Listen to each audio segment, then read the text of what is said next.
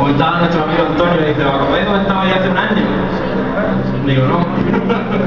Digo, estaba en, en Sala Gamma cerrando gira con Sol y la verdad que ha sido muy especial para nosotros estos dos años de que grabamos nuestro disco porque hemos vivido cosas que hace seis, siete años que empezábamos con el grupo, bueno, queda. Eh,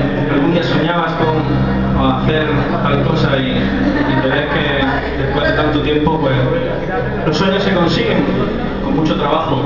Nadie regala nada, pero eh, así que me, me ha hecho gracia recordar ese momento y te das cuenta de las cosas que vas viviendo.